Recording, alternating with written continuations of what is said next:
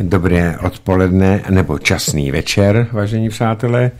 Dnešním hostem studia Beta Svobodného rádia je ekonom a předseda České strany národně socialistické, pan inženýr Karel Janko. Karle, eh, vítej. My si týkáme, známe současně 40 let, takže dlouho, dlouho takže, takže vítej já, já vás všechny zdravím, zdravím všechny vlastence a přeji jim také příjemný večer. Eh, v první řadě ty jsi se angažoval i v tom předvolebním boji, co se týče těch voleb do Evropského parlamentu, tak eh, i když vaše strana se tam nezúčastňovala. No ano, ano, nezúčastňovala. Nez, protože to bylo celkem rozumný. Tak. A jenom, jestli to není tajný, koho si tedy volil? No, eh, volil Je, jsem... Takhle, nemusíš odpovědět, když nechceš. Volil jsem národoveckou stranu, pochopitelně vlasteneckou stranu. A kroužkoval si. Ano, a kroužkoval jsem příslušné a měl jsem úspěch. ano, takže kroužkoval jako já 1,8. Tak. takže, tak. Karle, eh, zajímal by mě tvůj názor, člověka dlouho tak. v politice, zajímající se politikou, eh, duchovního otce Aliance národních sil, protože to je tvůj ano, projekt, projekt původně, ano. který eh, se úplně dostal na špatnou kolej teďka. Nicméně eh, hodnocení voleb do Evropského parlamentu jak z pozice České republiky a tak ano. z pozice Evropy bych po, tak, prosil. potěšením jsem konstatoval, že prostě ty, ty národovecké síly uh, za, uh, jako měli úspěch v těch volbách. Pokud jsem počítal dobře, tak eh, je zhruba přes 100 něco těch skutečně tvrdých uh, zástupců euroskeptiků, ano, ano, přes 100 a k tomu se kolem 180, respektive ne k tomu, ale dalších 80 až 100 bude takových prostě, kteří se přidají, nepřidají podle potřeby. Jo.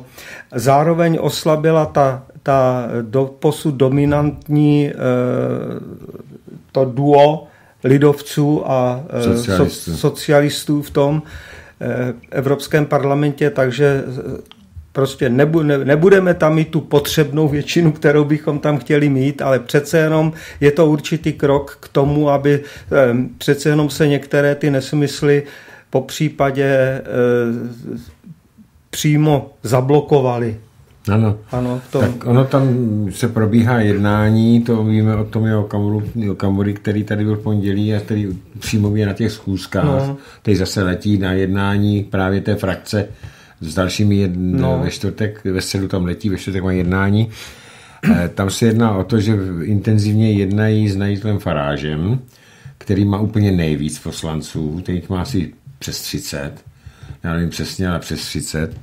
Jedná se s eh, polskou stranou Právo a spravedlnost, která má taky přes 30. Jedná se s eh, Viktorem Orbánem, tam to je jako mm, neví se. No pokud je Marina Le Pen. Marine Le Pen, no, tak ty jsou, ty jsou to je, svatou, jasné, to je jasný, to je ta frakce. Ale co říkáš tomu, že se nadějně rozvíjí jednání s, z, z AFD z Německa? No, jenže je otázka eh, toho, jak, je, jak dalece ji připustí vůbec k tomu slovu tam, jo, protože tu se snaží dokonale diskriminovat. Já myslím v té frakci ENF, to znamená těch vlasteneckých stran, oni probíhají jednání, že by se k ním přidali.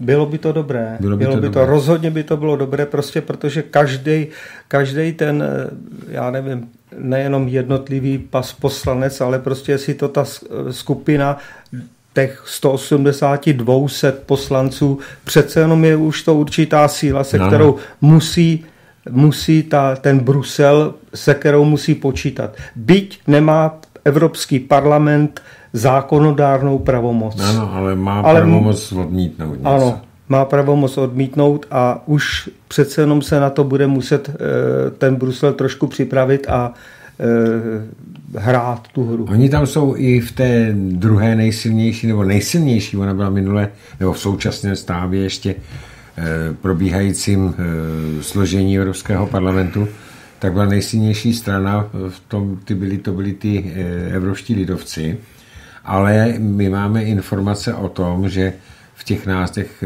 jednáních, které probíhají, a ptám se, co na to říká, že i z těchto lidovců, kteří jsou tvrdě pro unijní, tak se tam tu a tam objevují poslanci s konzervativnějšími názory, kteří tvrdí, že zničit suverenitu, totálně suverenitu státu je nesmysl, že by tam mohlo eh, na, no, určité, na určité hlasování Já být větší síla. To tuším na Poláky, tak ne? No Poláci ty jednají o tom, že by se té frakci zúčastnili. Té no, zúčastnili. Více o tom nevím prostě. Tohle to, mhm. tohle to, co si dokážu spočítat a co uh, jsem si zjistil o tom.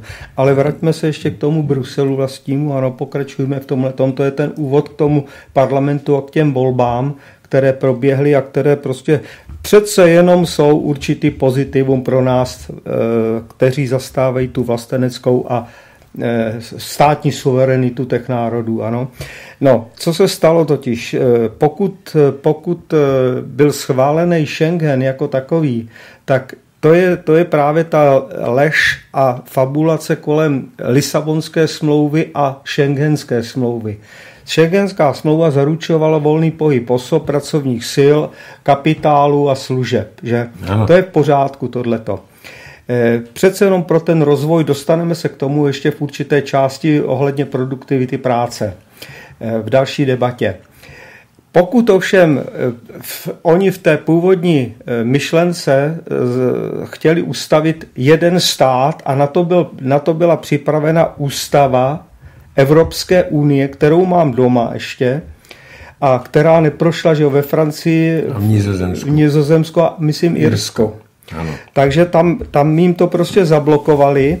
Takže udělali tu, tu obezličku, že místo, místo ministrů dali komisaře a místo e, prezidenta dali nejvyššího, že jo, e, předsedu, předsedu komise. komise, že jo. A, Takže, a nazvali to Lisabonskou a, smlouvou. Tak a udělali, udělali to pod tedy, e, nazvali tuhle tu ústavu Lisabonskou Aha. smlouvou s tím, že všechno ostatní zůstalo. A bohužel prostě tento hybrid toho, eh, na, kterým to má, eh, na, no, když vejknout se, eh, má charakter fašistický organizace. Já to tvrdím, říkám to veřejně toto, protože Máš současné, li, ne, myslím tím Evropskou, Evropskou komisi. komisi. Tak, Evropskou komisi, ano, čili Bruselskou komisi. Ano, ano, ano. ano.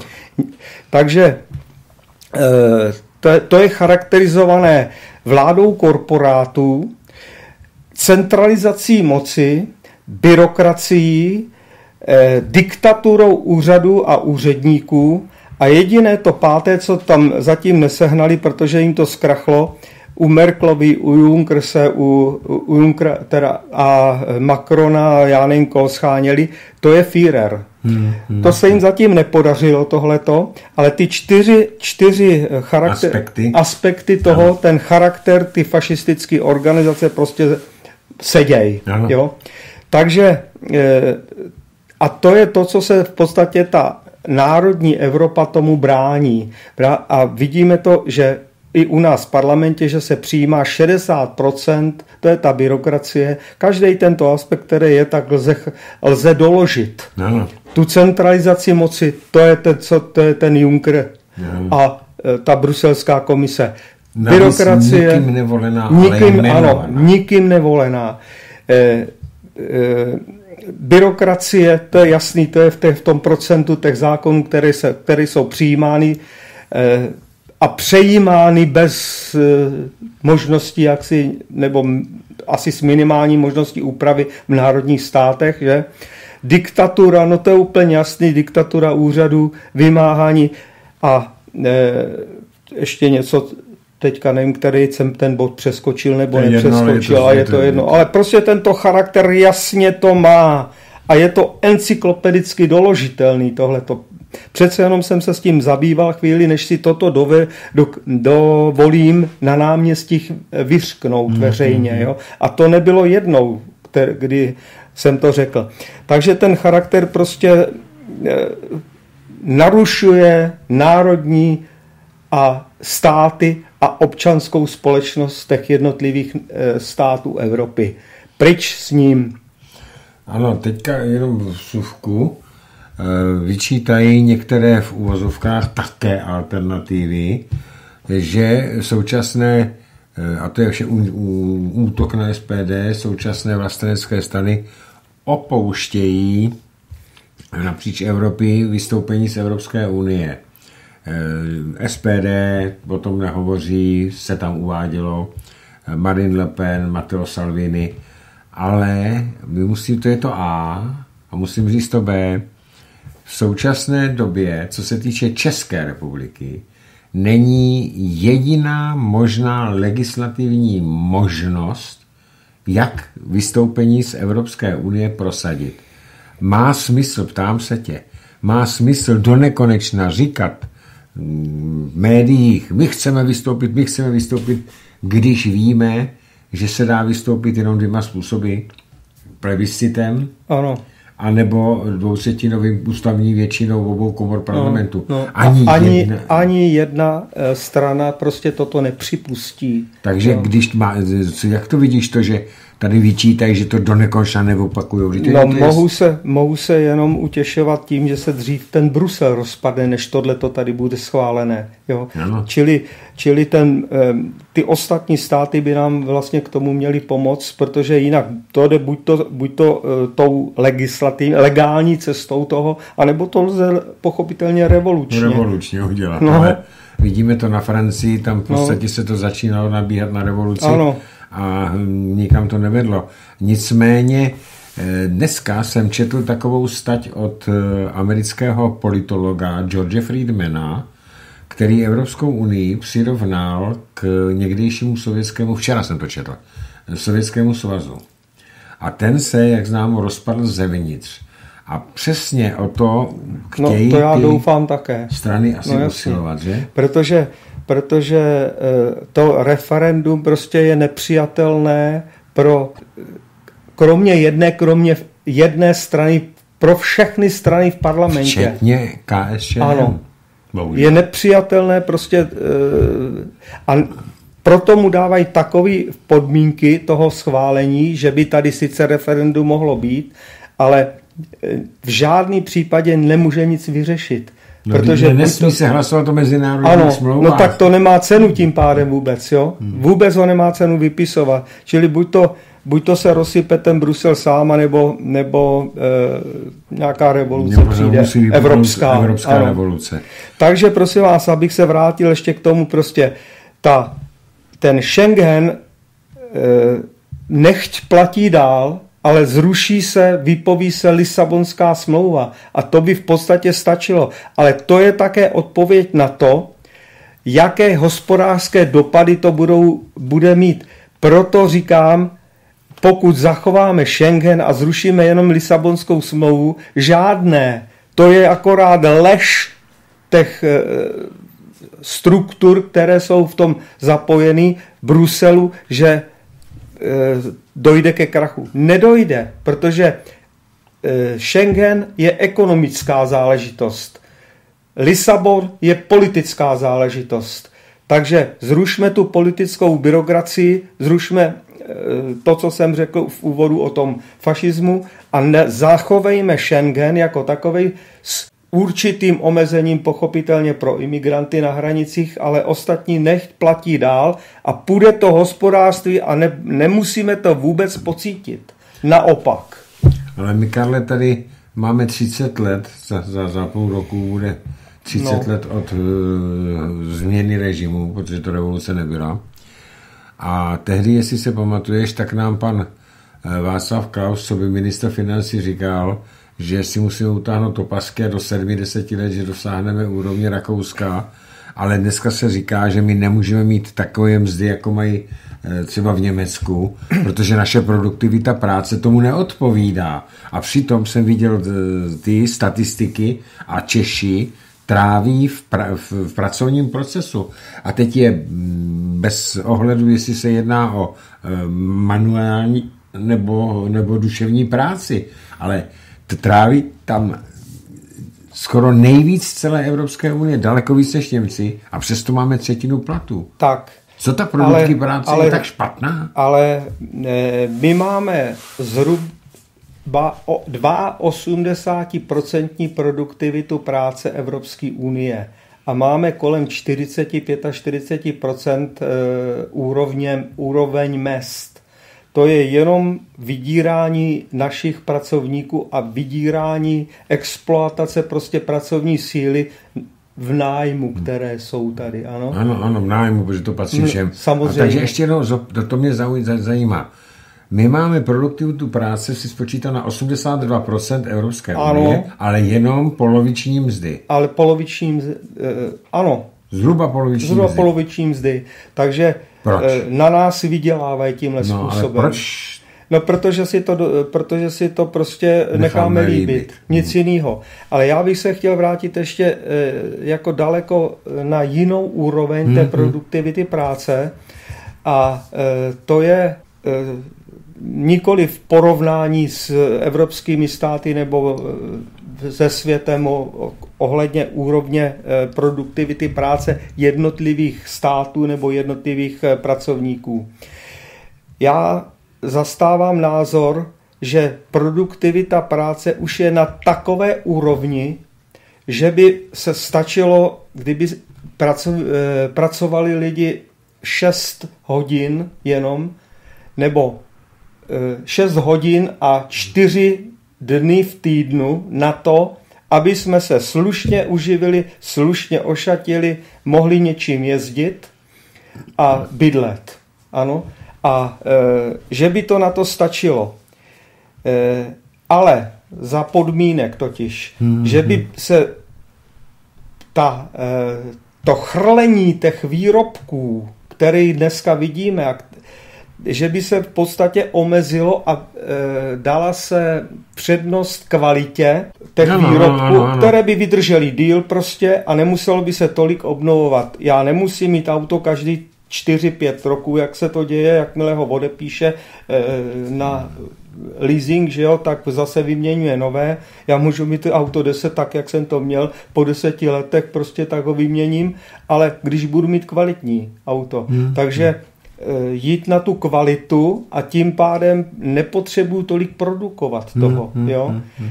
Takže to je eh, to je tato podmínka a druhou podmínkou je to, nebo druhým takovým aspektem toho, že na tohle to nikdy monopolní kapitalismus ne, ne, nemůže přistoupit. No samozřejmě, jo? protože teď jsem si říkal no. zrovna, to, co tady říkáš, tak no. to přímo odporuje základním tezím eh, kapitalistické ano, ekonomiky, ano. neustále zvyšování HDP, neustále zvyšování ano. produkce a tím neustále zvyšování zisku pro ty korporace. Ano a daleko, daleko prostě eh, věřím, že by jako ta spokojenost těch lidí by byla daleko vyšší než v současném době toho chrlení těch, hmm, hmm. těch výrobků.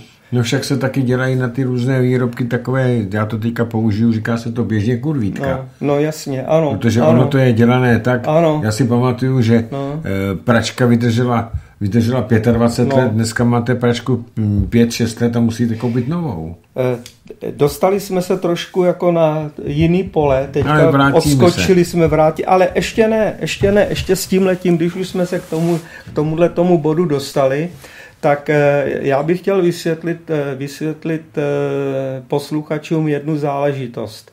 Tady roste v podstatě produktivita práce na těch jednotlivých výrobcích. Ano? A tím, jak se snaží o optimalizaci výroby, ten příslušný výrobce, myslím tím, ano, tak se dostává čím dál tím do větších větších výrobních kapacit, větších výrob, více výrobků prostě dělá.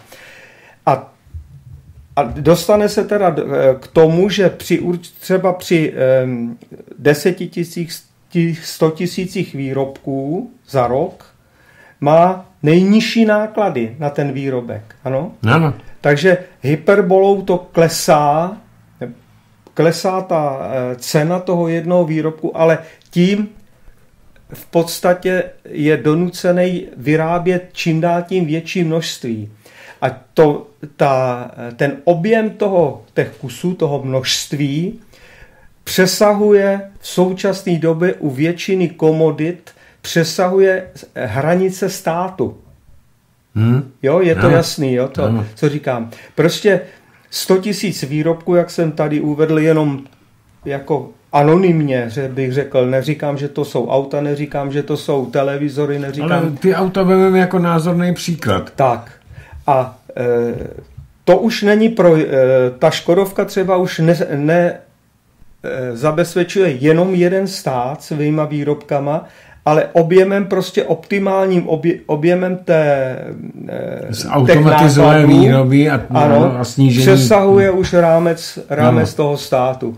Takže to je, to je eh, aspekt k tomu, eh, že bychom mohli daleko méně vyrábět a mít eh, kvalitní výrobky a mít taky podle mého větší spokojenost prostě z, z toho života. Tak i když ty Škodovky jsou zrovna dobré auta, jsou dobré, chraň auta, ale i Škodovka a i všechny ostatní auta právě kvůli tomu, jak si vysvětloval, že aby se snížili na maximální úroveň náklad na jedno auto, tak se musí sekat hodně kusů. Tak.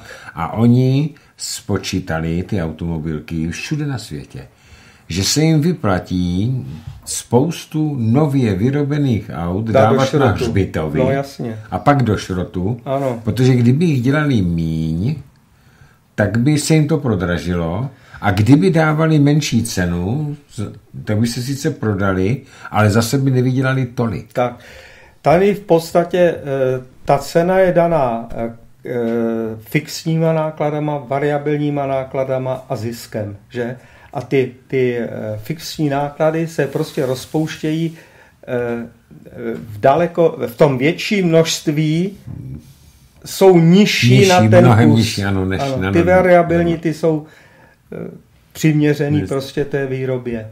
Takže tohle to jsou aspekty, který, ke kterým jsme se teďka jako dostali úplně bokem od té Evropské unie, že přes ten Schengen, ale e, mám je na jazyku, mám, měl jsem v úmyslu o tom taky jednou hovořit, že prostě e, ta, ten objem té výroby přesahuje už e, nějaký limity lidských hmm, potřeb, hmm, hmm, ano. bych řekl. Je v podstatě nadvýroba. Ano, nadvýroba a dřív nebo později vždycky se to projeví e, recesí a krizí. krizí ano. ano. Ano, Nejdřív tak, tou recesí a pak krizí. No, na, na krizi, recesi to si uděláme pořád speciální, protože to je na hodně povídání. A já vím o tom, že no. podle amerických ekonomů, a taky jsem to četl, tak eh, ta krize nejpozději přijde v roce 2021, spíše však už příští rok 2020. Tak. Ale říkám, to bych si nechal na speciální pořad. Na demonstraci v září 17 ano. jsem odhadl 2020. Tak si tak to jsem, stejně ano, jako ekonomové spojené američtí. A je to doložitelný, ano. pochopitelně záznamem, záznamem z té demonstrace, ano. ano. Takže eh, ne, že teď budu dělat chytrého, že jsem to říkal, ale je to doložitelný na videu.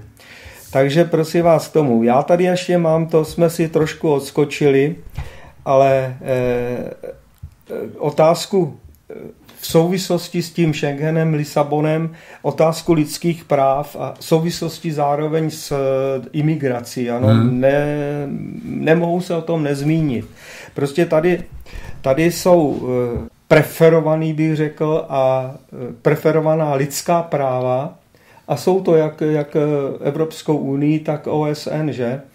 A přesně podle těch lidských práv e, nám sem cpou kde koho, koho pod, e, z těch imigrantů na základě prostě jejich lidských práv. Ale na úkor našich lidských ano, práv. Na úkor našich občanských práv. Takže já preferuji občanská práva a občanské povinnosti mm-hmm. občanů této republiky a kašlu jim na jejich lidská práva, které... které si pohýbají jak chtějí. Si, ano. ano. Takže to je můj názor mm-hmm. ještě na tohleto, na tu otázku. Vysvětli toho. občanská práva a lidská práva. Jaký v tom je rozdíl? No, e, jsou daleko širší ty lidský práva. Tady pokud jsem občan, tak mám přímo v ústavě zadaný... Je to zákonnost. Ano.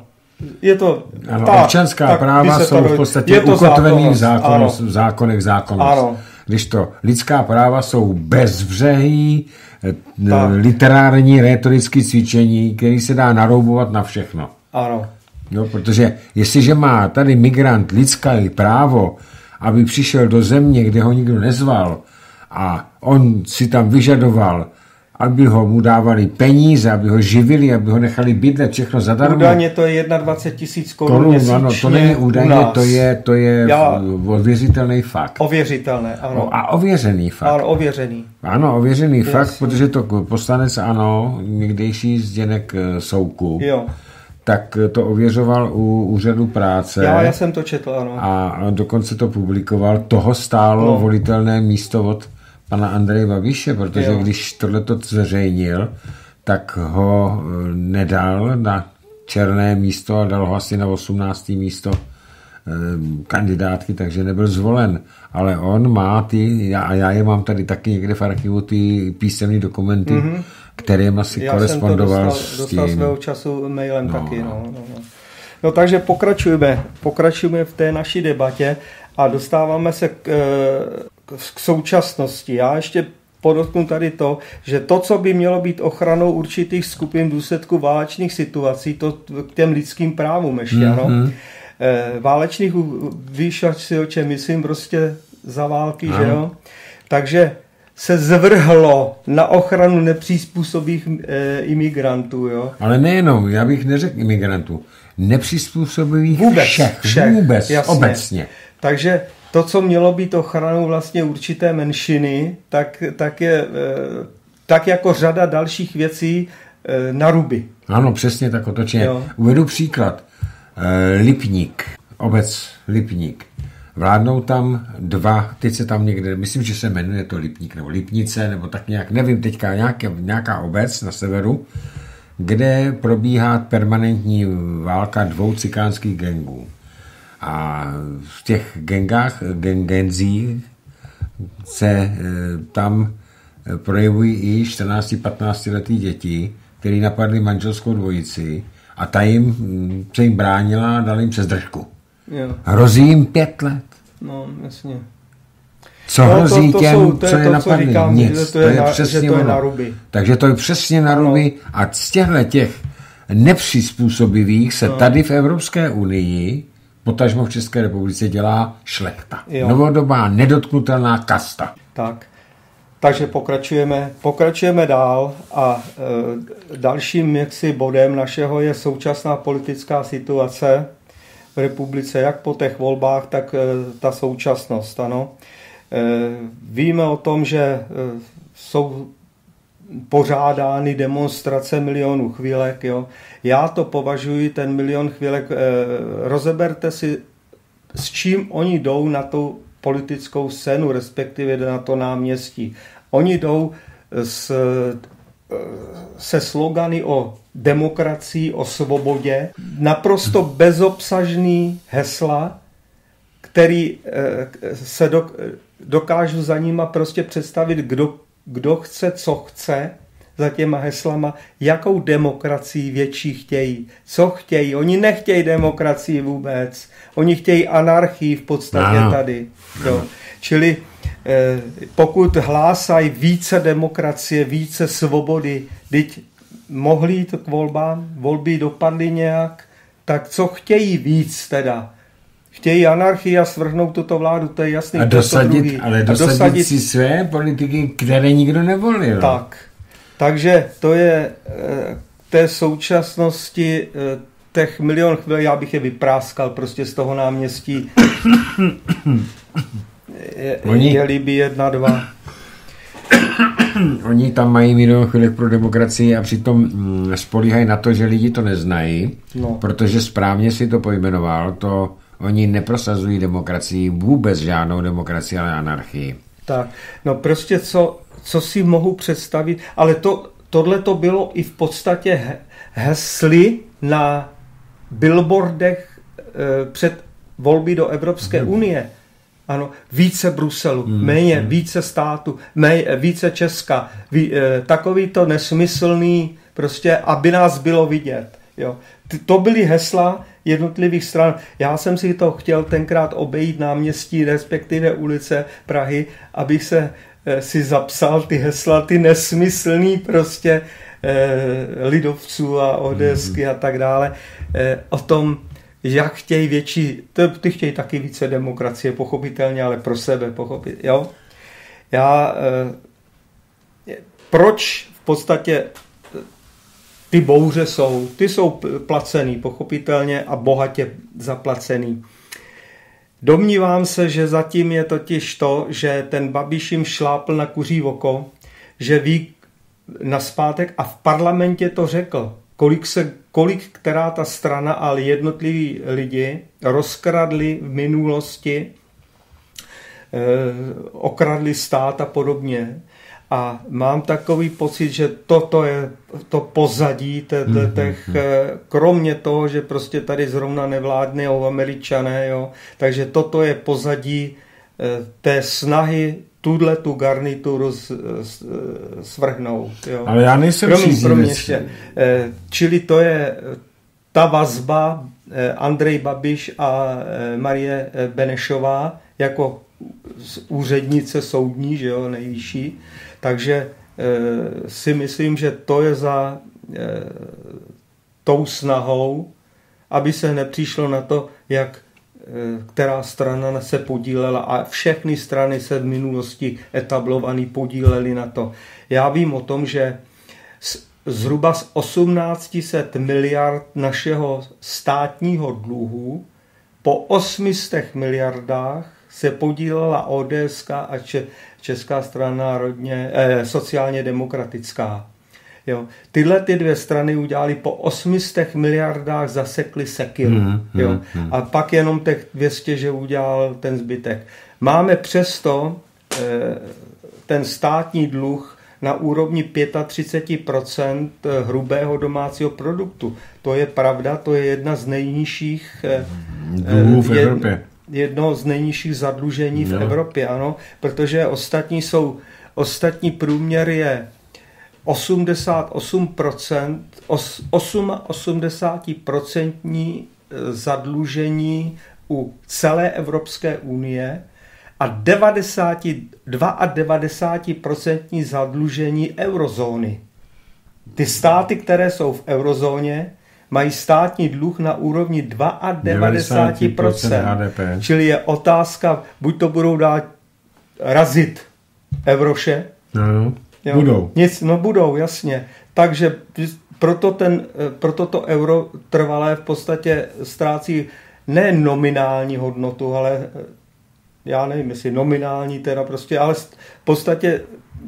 Takhle řekl bych, ztrácí, ztrácí důvěryhodnost. Tak, tak to spíše lep, lépe proto, řečeno. Proto, proto no. se teďka obracejí no. uh, a Rusové s Číňanama dělají na, uh, ty, na ty, na ty no, zlatý, ty krytí no. zlata. Ale já jsem chtěl jednou ještě, ještě připomenout jednu věc.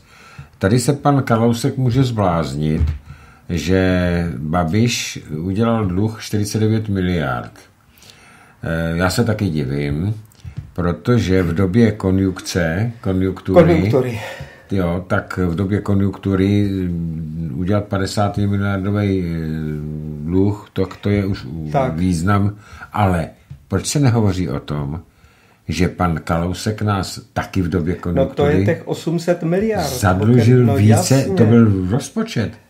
O více nás, než 100 miliard.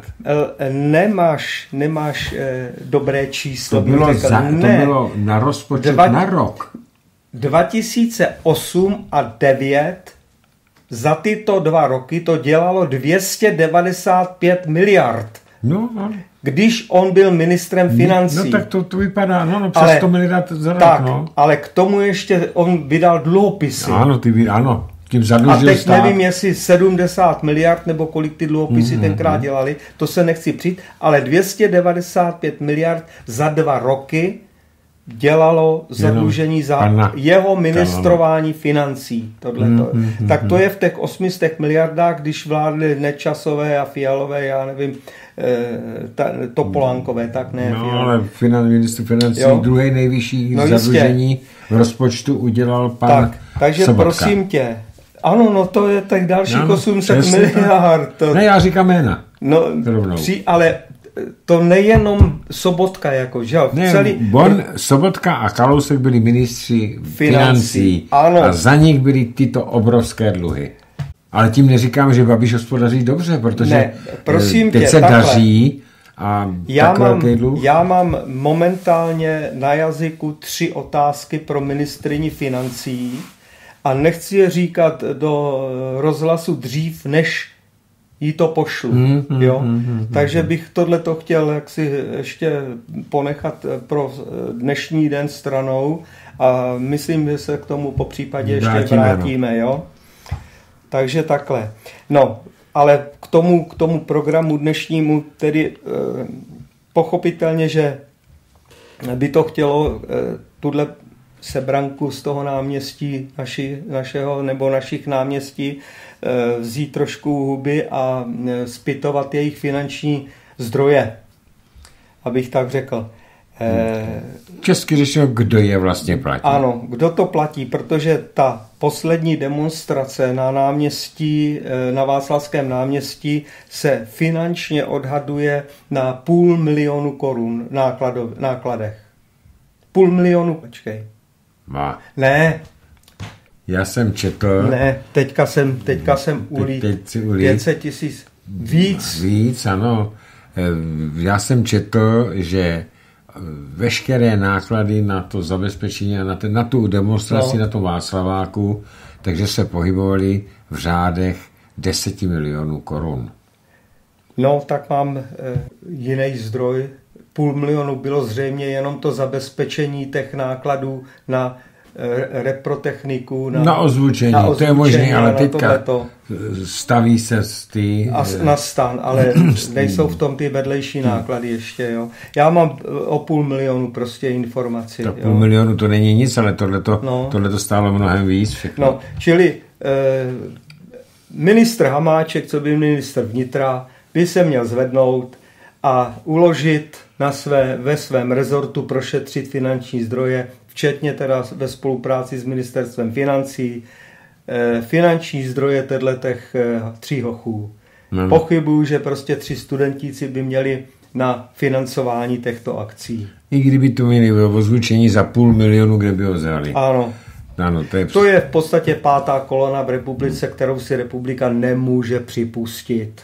Ale jak vidíš, připustit. tak si to připouští a ještě je platí. No, ještě je platí. Protože do neziskovek půjdou v roce 2020 13,5 miliardy korun no. z rozpočtu. Jo. Do politických ne, Takže do, do, do volání po demokracii je falešné a samo to slovo v jejich poletí, pojetí má prázdný obsah. Prázdný obsah ano. v podstatě. Vzpomínáš, co jsme volali v 89. na těch náměstích? Svobodné volby. No. Teď je tady máme. Ano. A, a co oni, chtějí? Budou remcat proti Nesvobodné tomu, volby tedy, no, nebo co chtějí? No jistě, oni nechtějí vůbec žádný volby. Přesně tak, oni nechtějí no. žádný volby, oni ano. chtějí vládnout přes náměstí. Ano, takže to by bylo k té, eh, k té milionu chvílek. No, k, té, k tomu, k tomu, k těm náměstím jo, jsem chtěl říct, jo. ano. Eh, vracím se ale této souvislosti teda tomu toho financování k eh, panu Babišovi. Eh, Aby si nemysleli posluchači, že jsme nějakcí fandové Babiše. To tak, v žádném případě. Já jsem národní socialista prostě a tím je dáno všechno. Čili jsem v podstatě i pro udržení korporátů na úzdě.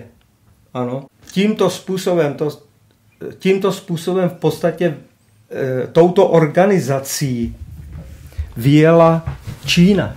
Údajně tam i šik svýho, svým eh, způsobem fungoval jako poradce hmm, hmm. v 70. letech a je, skute- a eh, je skutečností, že prostě ona jde desetiprocentníma přírůstkama. Neříkám za jakých podmínek, dětí a tak dále, eh, té práce dětí, a, a, ale desetiprocentníma přírůstkama hrubého domácího produktu ročně. Znamená produktivita. Produk, ano, vysokou produktivitou.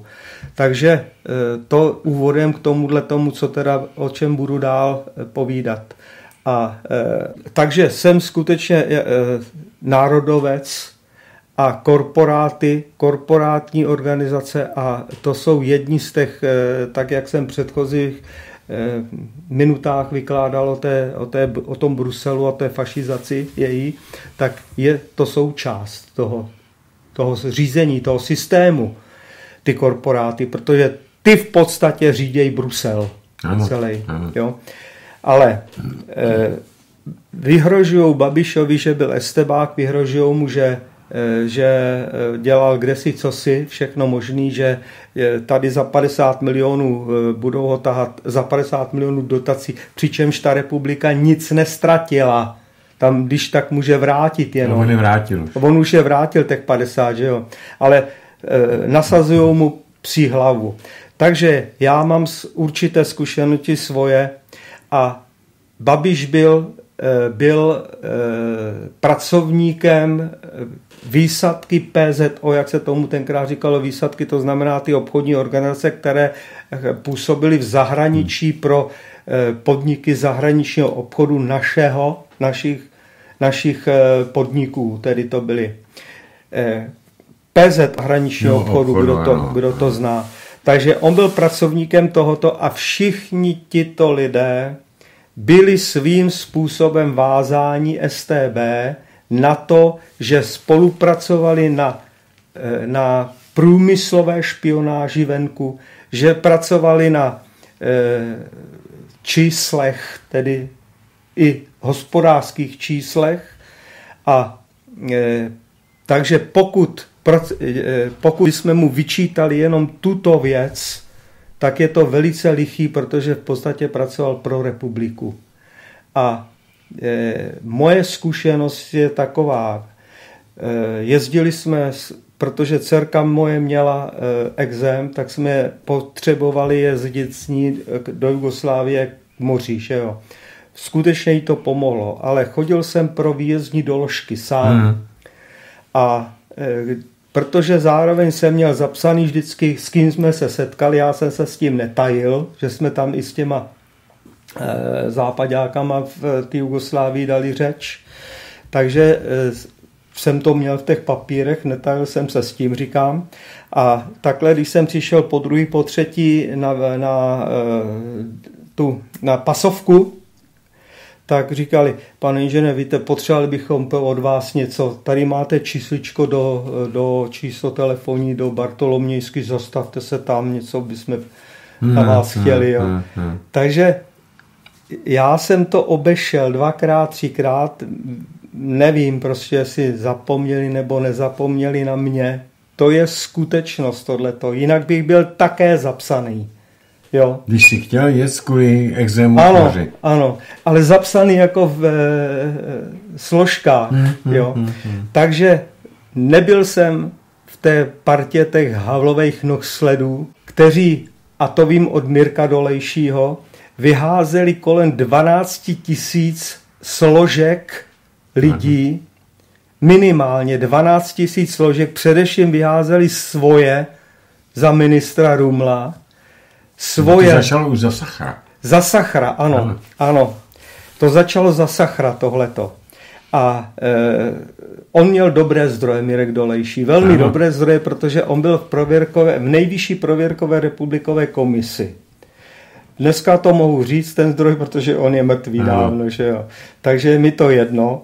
A e, toto, toto je jako jenom informace o tom, jak prostě se pracovalo po roce 90, jak se zdiskreditovali také naše e, lidi, kteří byli venku, pracovali pro republiku, že jo, etablovaný venku, nejenom na těch PZkách, ale i prostě jako rezidenti. Všechno tohle to pohřbili to, co vůbec by mě nevadilo, kdo prostě na ty PZC někde fungoval a při, e, přinášel pro republikou informace. Mě vadilo to, jestli když jsem, protože jsme bydleli v přízemí, tak jsem věděl, že kolem našich e, balkonových dveří chodějí dívají se, jestli náhodou nebalím kufry, jestli jsem nevystěhoval nábytek už a podobně, jo. No ale e, vždycky jsem to ustál, tohleto. Hmm. Takže mám čistý rejstřík, eh, myslím tím, eh, no. Lustračné cvičení. Jo, lustrák, jo. Hmm. Takže eh, to je moje zkušenost prostě s tím letím, takže nechme, nechme Babiše Babišem, jestli dělá někde na PZC a proti tomu prostě 12 tisíc nebo 15 tisíc složitých kumpánů Havlových, eh, které jsou vyházeny a eh, utajo, nejsou utajo, už jsou pryč, protože skartovaný. Ale ono, pokud mám dobré informace, říkám, nej, to ověřím, že to nejde ověřit. Ano ale tehdy veškeré eh, složky tajných služeb, eh, včetně eh, státní tajné bezpečnosti, STV byla státní tajná ano, bezpečnost, ano, ano. tak se museli v kopích posílat do Moskvy. No, tam A jsou. údajně v jo. těch archivech někde v Lublance nebo Berios, Berezovce, nebo jak se to tam jmenuje, Berkut, ten, jak se to tam jmenuje, zkrátka někde tam v těch archivech by to mohlo být, bylo by strašně zajímavé zjistit, kdo tam byl no. a kdo se zničil. Ano. Já sám jsem viděl na vlastní oči, že na Zbraslavském skládce Je. hořel spis ve žlutých deskách Václav Havel. Havel, jo, tak to je zajímavá informace. Byla to složka no. Václava Havel. No jistě, že Nevím, jo. co tam bylo, ale hořelo to tam. Prosím vás, totéž informace od Mirka Dolejšího. On byl v 650. roce údajně za svým strýcem Milošem, který dostal malý degret po válce. To znamená kolaborace, malý degret. za kolaboraci, tak byl v Mnichově. Václav Havel. Václav Havel, ano a tam ho na, naverbovala podle Mirka Dolejšího eh, Deutsche eh, Nachrichtendienst, že jo, německá spravodajská Bývalá genová organizace. No, jasně. Takže, takže eh, Mirkovi Dolejšímu se nahoru omlouvám prostě za tuto informaci. A no, no já tomu věřím. No, já tomu věřím. Takže No, takže eh, máme eh, další tam téma, ještě Ale čas. ano, pochopitelně. Tak eh, co jsme tam po, ještě Pojedeme měli? dál. To, že, jo. že v podstatě v současné době je, pos, je nut, potřeba postavit všechny národovecké jednotky, všechny národovecké síly, strany k podpoře této vlády, ať je to od, od, odkaďkoliv. Vidím to jako dejme tomu určitou eh, časovou eh, únosnost po, po určitý čas, že eh, k tomu, aby jsme odolali, odolali tomu náporu, který... Vy... To je Majdan.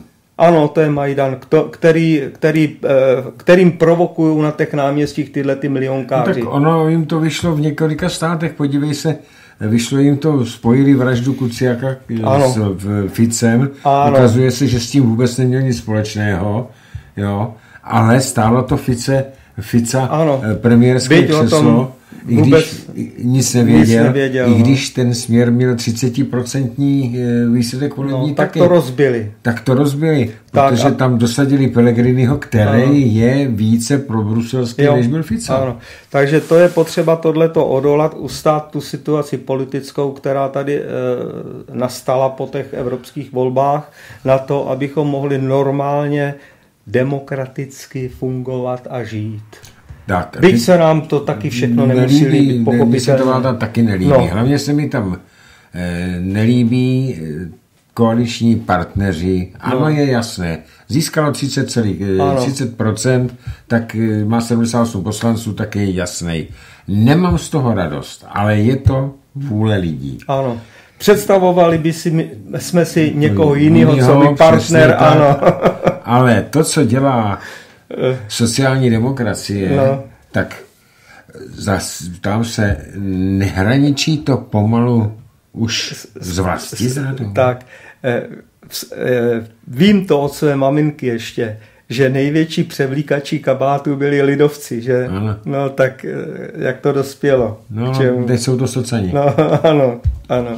Prostě oni, kdyby byli volby teďka, tak to prohrajou všechno. Tak a teď jsme u toho. Eh, milion chvílek protestují a chtějí odchod Babiše. Dobře, Babiš může odejít, dá demisi, padne vláda. Nebude tam paní ministrině Benešová, nebude tam nikdo, bude buď prezident Zeman opět pověří, eh, a to už říkal Andrej Babiše sestavení další, další vlády, vlády přičemž tato vláda bude fungovat. Jo anebo tam bude úřednická vláda do voleb. Ano. Budou volby A to znamená, že když bude úřednická vláda, tak tam nikdo z těch politiků, který tam na tom náměstí vykřikují, tak nebude. tam nebude. Kalousek Jasně, tam no je, jistě, že. jsou tam Bartošovi, Piráti no. nějaký a tohle. Budou volby. A budou, myslí si těch milion chvílek, ty lidi, že by ty opad, dopadly ty volby jinak? Já bych jim to přál. Já bych taky aby přál. To, aby nepřál, to... aby, to, aby dostali na práskáno. Já bych si přál, aby to dopadlo jinak. No jo? jistě. Ne tak, jak to dopadlo teďka posledně, ale buď tady sakra jsme demonstrovali před 30 lety za svobodné volby, teď je tady máme a demonstrujeme proti ním? No jistě. Prostě to je paradox tohleto. Já jsem v tomto směru dneska, kdyby e, jsem dal glosu, glosuju často na, na novinkách, že, tak e, k té demonstraci v, no, mináře Vodňanech. ve Vodňanech. Ve Vodňanech, tak jsem tam příslušnou glosu dal, no měl jsem tam 50 plusů. Mm-hmm. jo, prostě, že vyvolávají něco právě, co je, co je bezobsažný ano. a že za, ním jde, za nimi jde v podstatě stádo ovcí. Ale za prvé a za druhý ten důvod, oni nejsou ty, co to organizují, co jsou, to nejsou ty studenti, to jsou jenom loutky. No tak právě. oni moc dobře, ti organizátoři vědí, o co jde. Že to nemá řešení ale oni tady mají jeden jediný důvod to pořádat a to je chaos. Anarchie, aby byla, Anarchie ano, ale v podstatě chaos. to je účel i pirátů ano. tohleto, jo. No, Anarchie, piráti, piráti jsou, ty jsou vítači. Já se vždycky musím eh, jak si vzpomenout si na zpátek, že po prezidentských volbách jsem charakterizoval ty, co volí Drahoše. Jo? A to stále platí i na tyhle, ty, na tu současnou, současný stav. Kdo jsou proti Zemanovi, kdo jsou proti současné vládě. E, ty čtyři, ty čtyři skupiny lidí, které jsou charakterizované hmm. buď to absolut, jako umělci absolutní volností, kteří prostě buď to další skupina, který z toho něco mají a Eh, ty první ještě e, tou volností a tím se přidávají i mladí, kteří hmm. taky nechtějí absolutní omezení, oni by nejradši nedělali, že jo? No, no, no.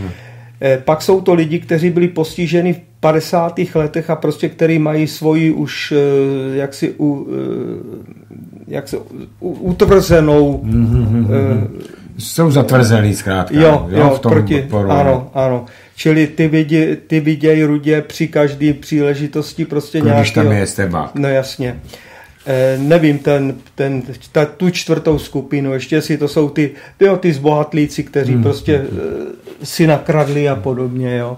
Takže tyhle ty čtyři skupiny a e, to platí do dneska. Tak. Tady, já bych se vrátil k té ekonomice. No. E, otázka úvodní. Karle, máme ještě e, nějaký čas. Ano. Pan ministr Petříček, určitě na radu pana Pocheho, protože poslouchá pana hmm. Pocheho jak, jak loutka, tak byl na Ukrajině, nejenom, že tam adoroval banderovce a všechno to je jedno, ale přišel s tím, že my bychom měli přijmout 40 ročně, ano, 40 ano. tisíc ukrajinských dělníků ano. a zaručit jim 1,2 násobek eh, mediální, mediální, no, mediálního eh, platu. Platu, to znamená toho, toho no, středního ano, platu. Ano. Eh, no já, když jsem to čet, tak se mi otevíral No prostě to je ekonomicky, ekonomický paradox my jsme sice v té konjunkturální fázi, nebo jsme na vrcholku, nebo těsně za vrcholkem možná už, jo, té, eh, té konjunkturální fáze ekonomiky, ale tento vývoj se, eh, další vývoj eh, se musí řídit jinými pravidly. A to je automatizace u nás, nikoliv jenom ta, ta řemeslná, ta e, nádenická práce v těch balírnách a podobně, čili tou automatizací a e, myslet na to, že za chvilku je nebudeme potřebovat tady. Jo? Čili e, už jsem v podstatě mluvil o té produktivitě Ale práce, proč, která roste. Proč, Karle, chtěli 1,2 násobek? To Ale, znamená, že jestliže ten člověk, aby to lepší počítalo, bude tady pracovat Čech a Ukrajinec a budou vyrábět tenhle stůl, Čech dostane za ten ten stůl tisíc korun a Ukrajinec podle pana Petříčka ale, 1200 korun. Ale to je, to je celé, celý ten paradox eh, tohoto myšlení no, právě. a hlavně té sociální demokracie, myšlení, no. Eh, který je vedou k tak.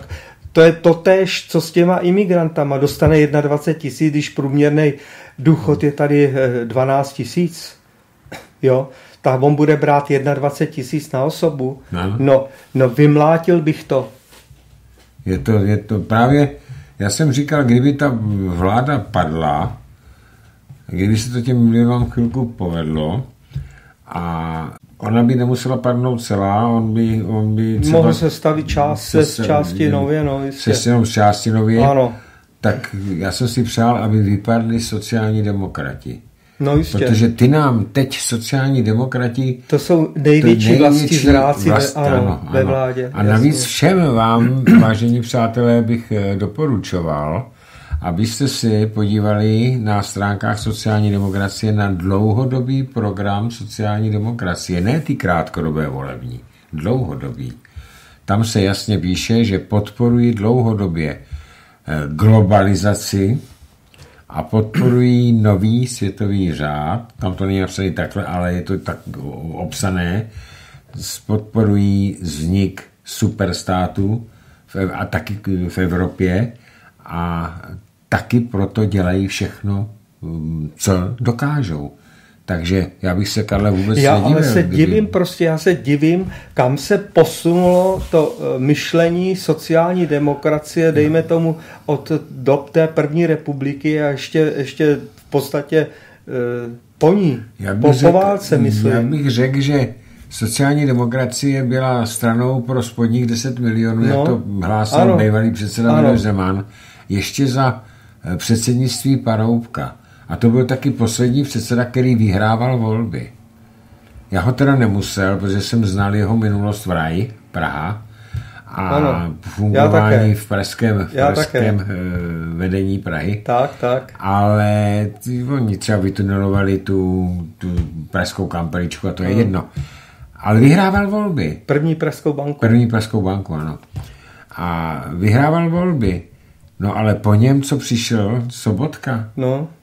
Tak a ten Jamáček, ale, to je... No ale dobře, ale eh, podívej, eh, to by se člověk nesměl dozvědět to, že prostě on je v, eh, v Aspen institutu. Hamáček. Ano. Aspen institut to je odnož Open Society Fund. A co to je? Soros. Soros, ano, Soros. Jo? Takže je to, to je to, co mě ten Mirek Dolejší naučil. Prostě tyhle ty vazby a v momentě, kdy si, to, kdy si ty vazby dáš dohromady, tak, tak, jasné. tak víš svoje. A teď ještě před, před přáskou poslední informace. Tady máme Aspen Institut, kde snad je místo předsedou, no, ten eh, Hamáček. Hamáček. A propojený tam je trilaterální komise, římský klub a skupina Bilderberg. Jasně. No, tyhle, eh, ty, to jsou výkonné jednotky nového světového řádu. Tak. Ale, a říděj tady. Ale hotely. mohu říct, že pár informací se mi dostalo v podstatě hlavně těch ekonomických nebo těch odborných i z toho římského klubu. Jo? Ono že, čas od času z nich něco vypadá. Ano, ano. A v současné, eh, v podstatě ta, ta, to základní, které platilo od 69. roku, to bylo te, ty zdroje rozvoje e, státu, respektive ob, společnosti, zdroje rozvoje. Ne. A to platí do dneska. Hmm, hmm, hmm. Takže máme 20. hodinu, vážení přátelé. E, my si dáme ty 4 hodinky přestávku a vy můžete psát SMSky, potom můžete i volat na telefonní číslo 731 720 756. Pro ty, kteří si ho nestačili napsat, je na našich stránkách, ze kterých to posloucháte zopakuji, 731, 720, 756, ale my tady máme s Karlem ještě jeden bod, který dva, probereme, dva. krátké, takže potom eh, budou čas na ty otázky. Teď si pustíme, eh, říkám do čtvrt na devět pár písniček, teď se s vámi zase rádi uslyšíme. Je po přestávce a já ještě jednou vítám inženýra Karla Janka. Karle, vítej u nás ve studiu Ano, Beta. ještě jednou dobrý večer. Dnes... Tak a my jsme e, už anoncovali před přestávkou, že máme ještě jednu věc na probrání a to je otázka eh, toho spíš imperialistického pohledu na nezávislost třeba Krymu nebo tak, Kosova. Tak. tak a k tomu něco, Karle, máš. Ten imperialismus si necháme jako tu charakteristiku nakonec, ale nejdříve tu otázku toho Kosova, Krymu, Katalánska a podobně těch států. Je e, v mezinárodních smlouvách totiž je to, že mohou vystoupit ze svazku nějakého e, například právě to, eh, to eh, Katalánsko. Katalánsko nebo to, ty státy bývalé Jugoslávie i státy Sovětského svazu, že mohou vystoupit, pokud to jsou státy a musí to být na základě, eh, na základě referenda, referenda které jsou které uspořádá ten ano. stát a pod mezinárodní kontrolou. No a když tohleto si promítneme eh, do Krymu, tak tohleto stoprocentně platí. Oni, oni eh, deklarovali to, že chtějí vystoupit. Oni udělali referendum. Podle to, ukrajinské podle ústavy. ukrajinské ústavy. Oni eh, prohlásili se teda za samostatnou republiku. Ne, za autonomní za republiku autonom, Ruské federace. Ruské fe, a, no to ale musel schválit ten parlament ruský, ta ano, Duma. Ano, jo? Ano. Čili tím se stali v podstatě autonomní oblast eh, státem Ruské federace. Ne. To bylo naprosto legislativně bezvadně e, provedený tohleto a veškerý křik o tom, že prostě ukradli Rusové Krym, anexe Krymu, anexe Krymu je, je lež. Ano. Jenom Oproti tak, tomu... Jenom takovou malou no. připomínku. E, v knize Oskara Krejčího, profesora ano. politologie, tak proběhly referenda ve všech státech Sovětského svazu před rozpadem.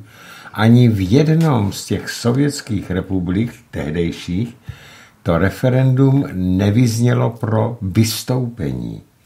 To znamená, že ti obyvatelé v referendech chtěli zůstat tak. v tom Sovětském svazu, ale ti vůdcové chtěli samostatnost, tak no, si to prosadili si to, proti no, vůli lidem. lidem. Tak to je jenom... Tak. A tady se nic nemluví o tom. Takže eh, to je eh, k, to, k té legislativní stránce a legalitě toho Krymu jako, jako soustátí teda toho sovětského bývalého, respektive Ruska, ruského Ruský bloku, federace, no. Ruský federace.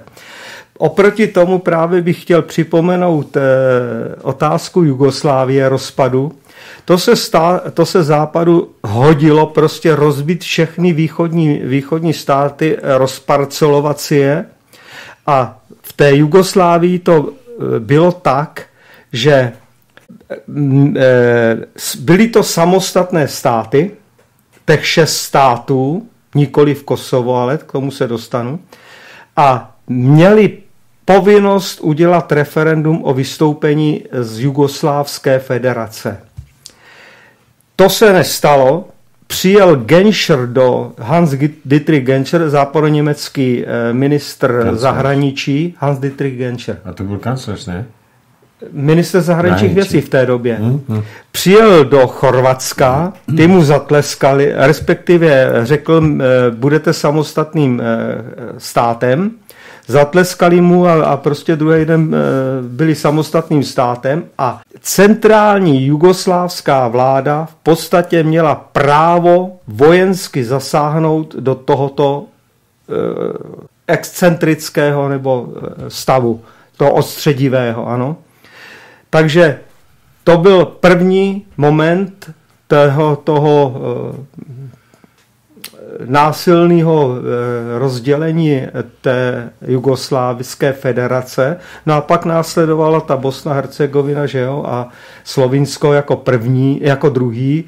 A právě, že v tom Chorvatsku díky, kdo, kdo zná vývoj Eh, uspořádá a uspořádání Jugoslávské federace od, dejme tomu, první světové války a hlavně té druhé světové války, tak ví o tom pozadí prostě, protože tam vládl Ante Pavelič a Artukovič, Andrej Artukovič, a to byli dva bosové na úrovni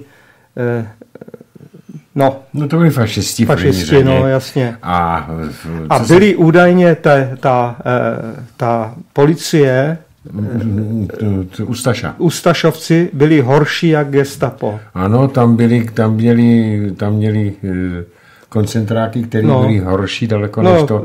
Viděli se tam v Ustašovském Chorvatsku se dělí daleko větší zvěrstva, než no. se dělí v německých koncentračních no. táborech. No. A no Jasenovac, největší, Jasenovac. Jasenovac. Největší, ale Karle, co je, co, co já jsem tam viděl jako největší průser, že Ante Pavelič, jeden z největších vrahů a zločinců válečných druhé světové války, nikdy nebyl potrestaný, ano, nikdy ano. nestál před soudem a dožil ve španělském klášteru, jistě. klášteru no, úplně no. v klidu. Tak, eh, a jenom mimochodem, on si sebou, když utíkal, tak si sebou sebral uh, chorvatský zlatý poklad. Mm-hmm. Několika bednách. Jo. Já jsem eh, jako se dozvěděl víc eh, při návštěvách té Jugoslávie, o tom jsem hovořil tady, protože jsme měli na obou stranách známé a tohle to se mi dostalo, ale hlavně tam je knížka Druhý světský rad, čili druhá světová válka, kterou prostě jsem začal číst a e, začala se mi otvírat oči nad tou historií hlavně. A teďka navážu na tohle, čili to byly ty e, podmínky obecně, které, o kterých jsem hovořil, o možnosti vystoupení z nějaké federace, z nějakého soustátí.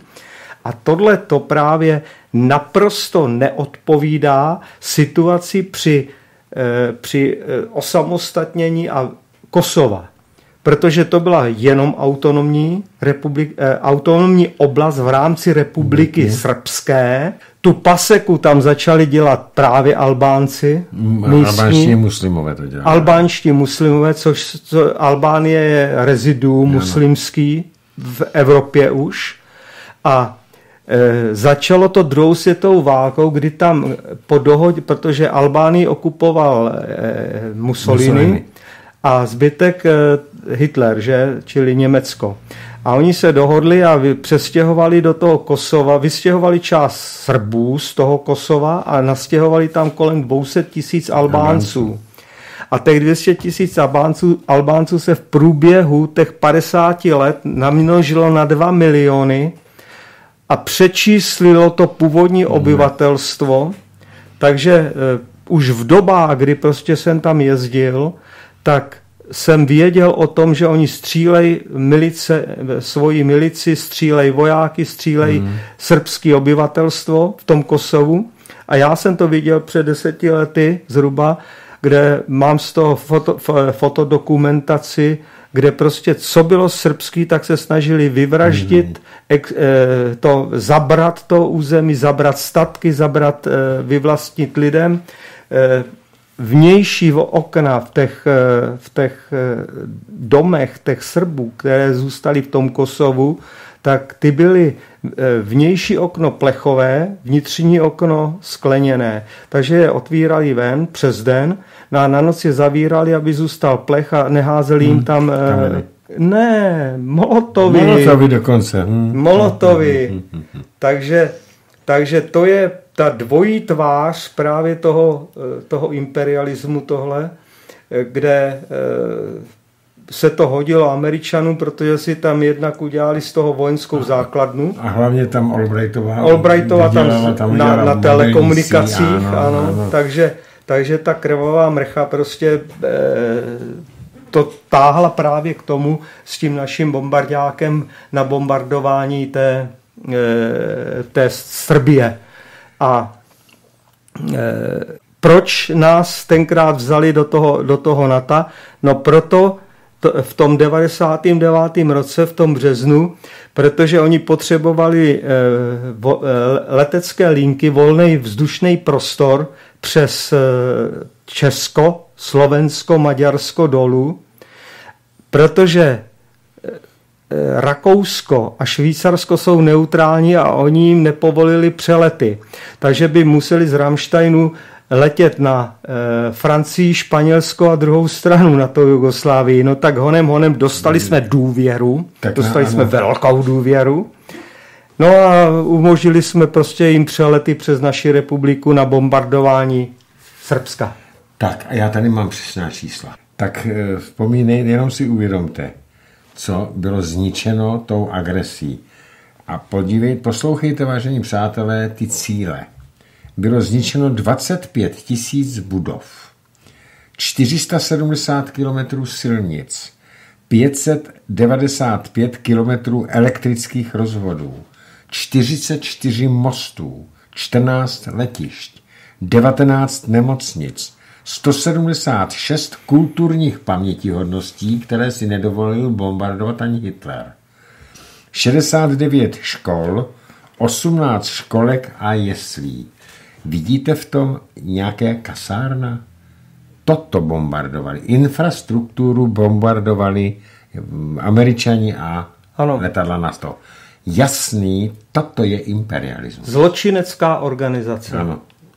Takže já jsem viděl i e, v Novém sadu vybombardovaný nebo u Nového sadu Sremský Karlovci most, že viděl jsem v Bělehradu tam ty obytné budovy, nemocnice, viděl jsem e, dál prostě v tom Kosovu a v tom další objekty, které prostě byly vybombardovány při, tom, při těch náletech na no. Srbsko. Jo. Tak, a proto, takže my, já bych teď šel, Karle, na dotazy. No ale já mám tady... ještě ten imperialismus tady. Já jsem to, já jsem to eh, jako takovou nechával. Eh, toto... To, není, není tak, to. No, tak to vem. Není to. No, eh, vždycky přidávám do nějaké debaty, ne, ať, už jsme, ať už jsme tady ve studiu, anebo ve Velké Dobré, tak přidávám takovou jako eh, vizuální perličku na to. Eh, jednak jsem taky vysvětloval prostě fašismus, vysvětloval jsem minulé relaci tady te, te, to hospodářské využití, které jsme si představovali tu organizaci toho hospodářství eh, eh, charakterizovaný tím čtverečkem a těma kolečkama, které se vypíšou dovnitř, ano, to, aby prostě to, ten centrál fungoval, to, ta centrální organizace v republice, aby fungovala. A dneska jsem si právě připravil takovou charakteristiku imperialismu. Ta charakteristika imperialismu, eh, jestli mohu Eh, abyste si opět vzali prostě papír a tušku, bylo by to nejlepší, anebo si to zopakovali potom z této relace. Když si uděláte trojuhelník na papír, rovnostraný, rovnoramený trojuhelník, jakýkoliv trojuhelník, prostě který, který je. Eh, ten trojuhelník to je, to charakterizuje eh, pro tu představu, tak charakterizuje to ví, Eh, jednotky, jakýkoliv jednot, jednotky, ať to jsou závody, pod, to zemědělské družstva, ať to jsou služby, ať to jsou ty, který prostě produkují nějaký zisk ze svýho, ze svý produkce. Můžou to být i, i kulturní zařízení, divadla, taky prostě mají svůj zisk. Tuto, tento trouhelník buď to si ho roz, rozdělíme na nějakou část prostě svislou, na ty, dvě, na ty dva díly, anebo k tomu přidáme proužek po straně, takový pásek, to budou ty další pásky po straně, které jsou nalepené na ty, jedno, eh, na ty eh, horní strany toho trojuhelníka, na ty obě. A pokud k tomu přilepíme ten jeden pásek, eh, tak to je vstup bank do té organizace, do té výrobní organizace. Ta výrobní organizace v současné době většinou nemá zisk na to, aby, aby eh, si to financovala jaký, jakýkoliv větší rozvoj ze svých vlastních finančních prostředků. Proto většina z nich buď to má nějaký e, leasing nebo má půjčku větší půjčku prostě do zařízení, do investičních celků, do té své hospodářské jednotky. Tomuto už za mých mladých let propojení bank a podniků jsme, za, jsme říkali finanční oligarchie. že to je. K tomu, k této finanční eh, oligarchii, to znamená tam, kde už eh, je ta výrobní jednotka, ta banka, tam eh, jsou nastrkaný, bych řekl, tam jsou delegovaný do správních rád a podobně státní úředníci. A to jsou ty pašalíci ve těch státních organ, těch správních organizacích, radách a, a podnicích. A to pak je úře, eh, úře, úřední eh, oligarchie, úřadů oligarchie.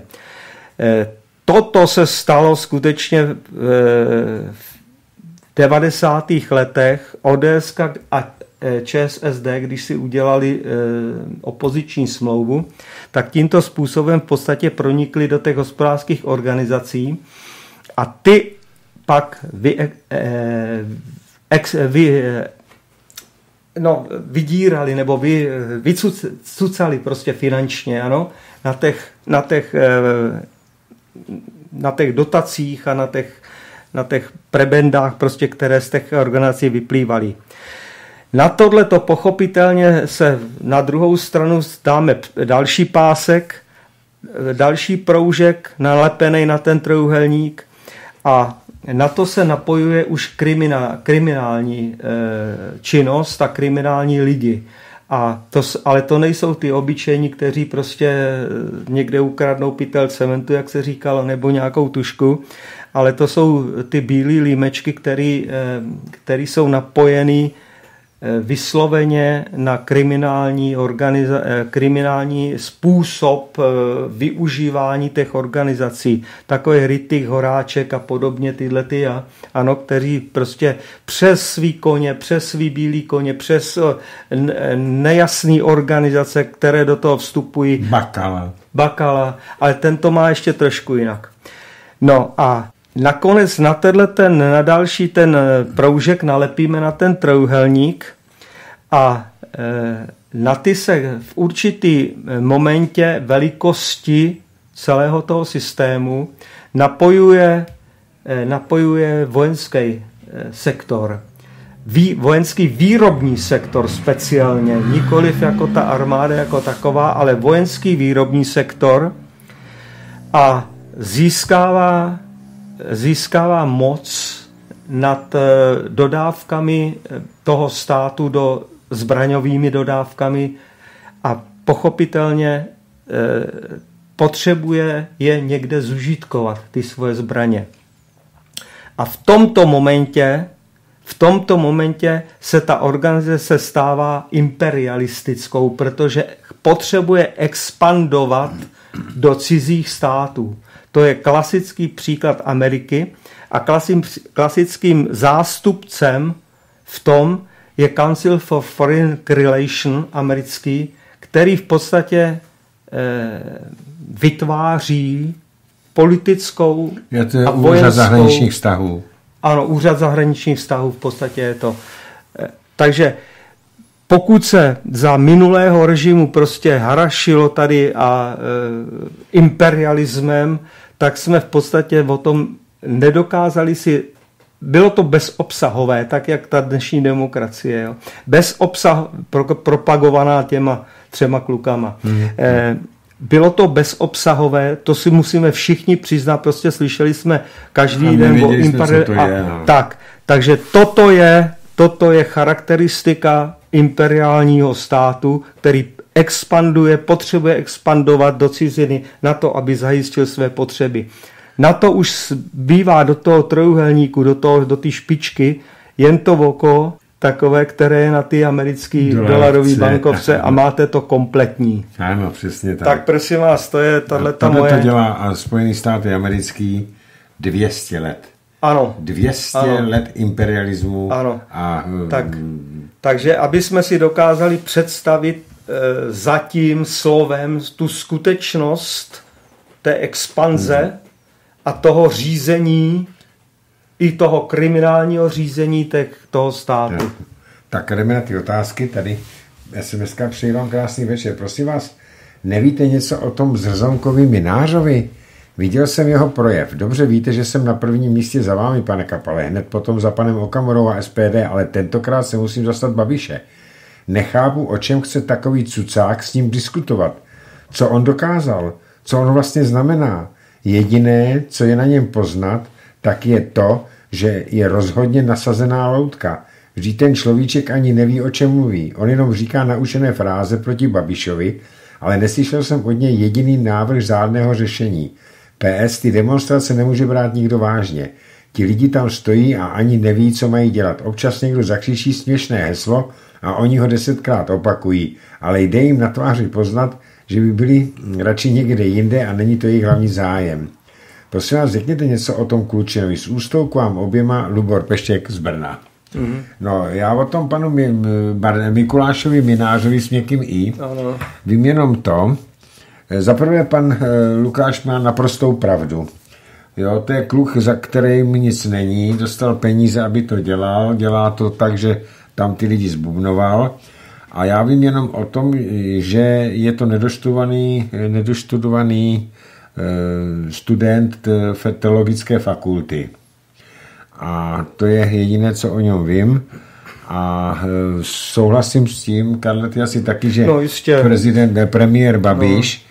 Se přece s nějakým takovým nastrčenou loutkou nebude, nebude bavit. Jak jsem v úvodu řekl, měl by se prosadit, doslova prosadit prostě do veřejnoprávní televize a vycinkat jim tam, jak se říká, prostě ty jejich hříchy všechny, které za těch 30 let eh, tady spíš eh, způsobili. Takže máme telefon. Dobrý večer, slyšíme se? Halo, dobrý večer. Uh, můžu, můžu mluvit? Dobrý večer. Eh, tak, vážení přátelé, už jedeme. Eh, měli jsme tady menší výpadek, takže se omlouváme, bylo to výpadek, výpadek eh, celého vysílacího programu. A asi za následkem nějaký bouřky, možná už proto nebyl slyšet ani ten telefon předešlý, takže já se omlouvám a hm, teď jdeme znova na otázky. Takže ještě jednou ozbakuju tu první otázku o tom Schengenu. Eh, my jsme se, že to už nebylo slyšet, takže ten Schengen, takže že bychom mohli nechat za určitých okolností. Že eh, pochopitelně je to určitá úlitba, ten Schengen, a já pokud si eh, to znovu projedete na zpátek, to, co jsem o tom říkal, tak je tam za určitých podmínek. A právě těma určitýma podmínkama, ten Schengen, že jo, je volný pohyb osob, pracovních sil, služeb a e, investic. A e, těma podmínkama právě se myslel ten, e, to omezení toho volného pohybu úplně. Prostě imigranty tady nechci a konec. Nemám k tomu co říct víc. Denisa tady má ještě jednu otázku.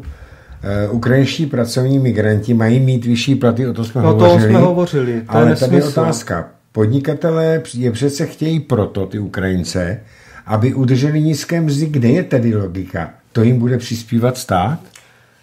No, není, nemá to logiku tohleto. Vůbec o tom jsme hovořili už v tom, že prostě to je nesmysl, aby měli, eh, aby měli větší platy eh, cizí státní příslušníci. To, to souvisí s tím, s těma občanskýma právama, o kterých jsme hovořili. Práva a povinnosti. A ne e, jak si před, upřednostňovat, eh, preferovat prostě imigraci. Tak, e, Notabene, že prostě ekonomicky to je, to je spochybnitelný tím, že dosta, do, dojde ke krizi jakýkoliv recesi teďka a nebudou potřeba. To je jedna věc. Druhá věc, o které jsme hovořili, to, že je potřeba, aby jsme se dostali na vyšší technologickou úroveň a tudíž eh, automatizaci té výroby. A tam nejsou potřeba. Tady to se říká ta, ta průmyslová revoluce 4.0. Ano, ano. Že jo, takže a teďka bychom Ale... museli ještě potom, když nebudou mít práci, tak z našich eh, daní bychom, bychom jim museli platit, platit. dávky. No, takže Prostě je to krátkozraké. Tady e, další. Dobrý večer, vážení. Domnívám se, že při minulé návštěvě pan jako hovořil i o tom, že než byla zavedena stupidní DPH, velmi dobře u nás fungovala tzv. daň z obratu. Tu snad v USA využívají státy stále a DPH vůbec nemají. Ve stanovení daní pak jednotlivé státy USA mají větší svobodu a autonomii než členské země Evropské unie. Je to tak? A pokud ano, mohl by k tomu pan Janko případně říci i více? Děkuji, Jirka z Pardubic. No, eh, toto je jedna z těch bodů, se kterými se chci obrátit na ministrině financí jako problematickou, neřešenou, a o které jsem říkal, že si zatím ji nechám pro sebe, než skutečně ten dopis na ní odešlu. Jasně, takže Jirkovi z Pardubic teď na to nebudeme no, odpovídat. No trošičku mě vzal vítr no, prostě, ano. Jasně. Máme tady telefonát. Dobrý večer. Dobrý večer, Pepa ze Severu. Dobrý večer, přátelé. Děkuji za krásný. nás dneska nějak, já nevím, mně to přijde, že nás dneska hodně blokují. Ale děkuji Děkuji panu Jankovi, děkuji Vladimíre, vážený pane Kapale, děkuji všem, všem lidem a, a ten sraz byl vynikající a říjnu znova. A držme, držme prostě při sobě a, a uh, já se chci zeptat pana Janka ještě na jednu uh, otázku. no, trikora pana Klauze mladšího. Uh, já jsem rád, protože v nižší ODS konečně budeme mít ke spolupráci v parlamentu uh, hlasy. Děkuji a přeji hezký večer. Jakékoliv národovecké eh, strany, hnutí a eh, osoby prostě jsou eh, vítány. To, co udělá pan eh, Václav Klaus mladší s trikolorou, ještě nemůžeme, nemůžeme zcela odhadnout. Já aspoň nemůžu zcela odhadnout, abych tak řekl. Uvidíme, no. Rozhodně horšího než Fiala z ODS tam nebude. Eh, ono, o tom si ještě budeme moc popovídat, eh, až tady bude někdo z SPD, protože ono to tam není tak jednoduché. Takže dám další telefonát. Dobrý večer. Dobrý večer, pane Kapele, zdravím i pana Janka, posluchač Pavel České Budějovice. Já nevím, jestli jste o tom mluvili, já jsem sledoval ten pořad úplně od začátku, ale chtěl bych se zeptat na skupinu Bilderberg, protože teď eh, začátkem měsíce měli, teda minulého měsíce měli sezení, tak jestli ví pan Janko nějaký závěry ohledně téhle skupiny, protože mi to zároveň přijde dost zvláštní, že vlastně ta skupina se existuje od roku 54, kdy se úplně skrývali, eh, nechtěli nikomu dát znát, že jsou tady. Teď tam byla dokonce eh, tajemník z NATO, Stoltenberg, poradce Donalda Trumpa, Eh, ten zeď Jared, Jared Kushner a eh, nebo Ursula von der Leyen, eh, to je německá ministrině obrany. A tyhle ty lidi se schází za vůbec neznáme, o čem se tam baví a vlastně de facto mění i politiky všech států, všech států, co tu jsou. Jo.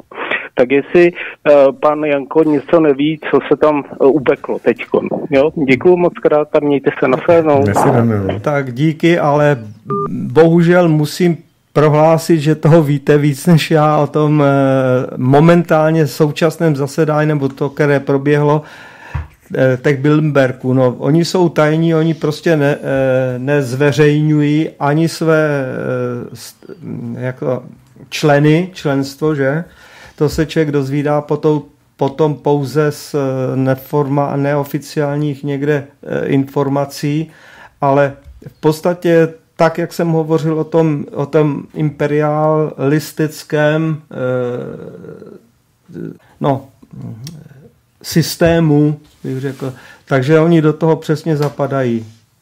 Já bych jenom dodal, že tentokrát tam nebyl ani jeden ze zástupců této skupiny, z České republiky a máme jich tady několik. Teď nejznámější je Karel Schwarzenberg, ale ten už tam eh, několik let zpátky za sebe posílá nějakou svou neteř nebo něco takového. A mm, pokud eh, tam eh, o tam tuď se nedostanou ty informace tak, že by unikli nějakým způsobem, no. tak oni je ven nepouštějí. Takže, ale každopádně Bilderberg je výkonný orgán nového světového řádu, ano. je přímo placen a řízen Rothschildy, a, takže a těmito podobnými skupinami takže nic dobrého si tam na nás nevymýšleli, ale já taky nemám žádné informace, co, no, co tam na nás chystali. Eh, mimochodem, Rothschild je v, v tom Council of Foreign Relations je nad americkým prezidentem.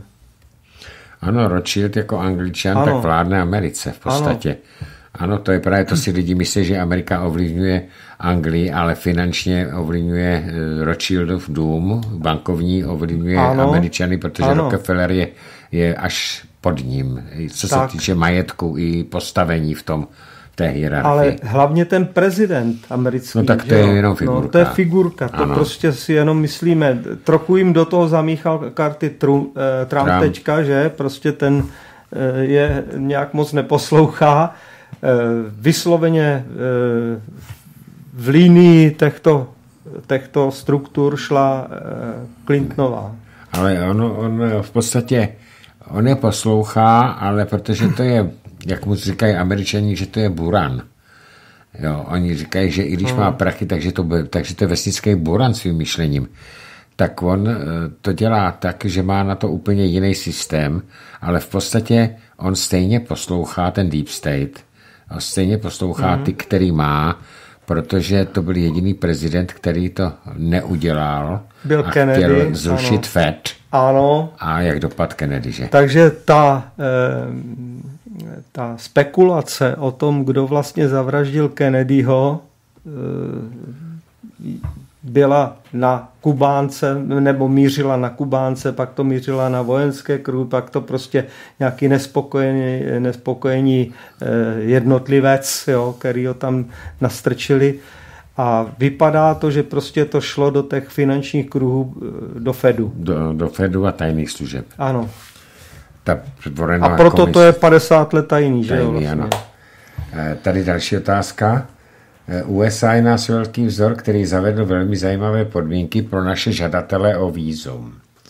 Co takhle následovat příkladu tohoto velkého vzoru a nejen zavést pro ně víza, ale i s příslušným obohacením o povinnost několik let zpět také poskytnout závazná osobní data – zdůvodnit samozřejmě tím, že takový nápad světové elity plně následujeme jako projev lojality. Ano, krásně řečeno. Takže si pán Jirka eh, Samozřejmě, hned bych to udělal. Je to tak. No je to svinstvo.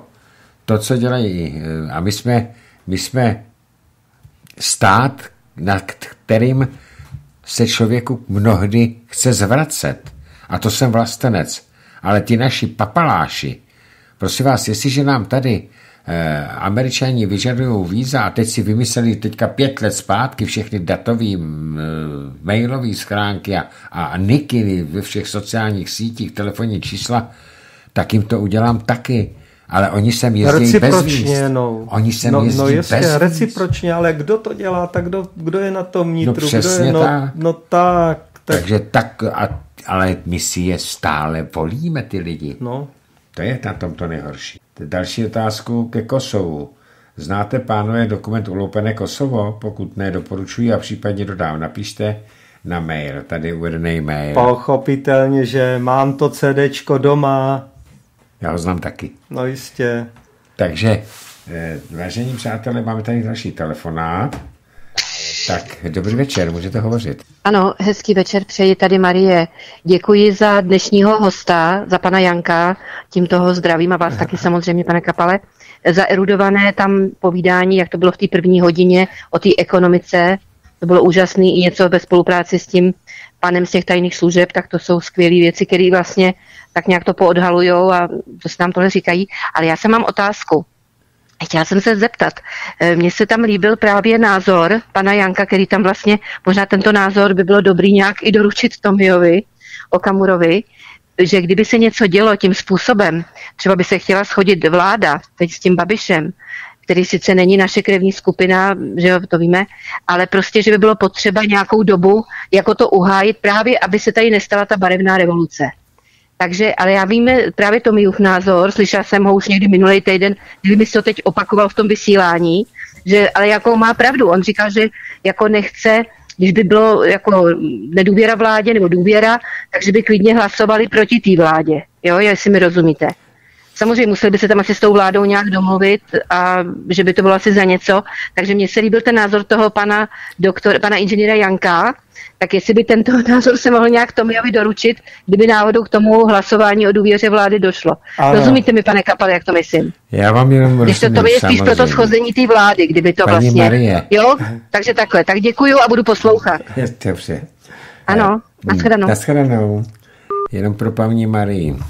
Kdo zná Tomia, tak ví, že mu můžete říkat horem dolem, on si to udělá vždycky podle sebe. Ale eh, můžu vás ujistit, že on si nezavírá nikdy dveře do toho, aby, aby eh, si už ublížil. Dělá chyby jako každý člověk, ale pokud by byla teď vyvolaná, vyvoláno hlasování o nedůvěře vládě, tak by museli SPD hlasovat pro pát vlády. A já vám řeknu proč.